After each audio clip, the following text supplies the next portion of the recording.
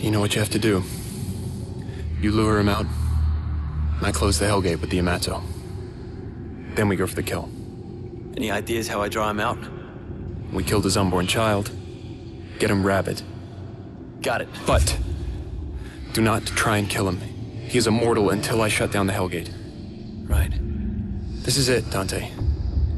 We have to put our lives into each other's hands completely, without hesitation. We are brothers, after all.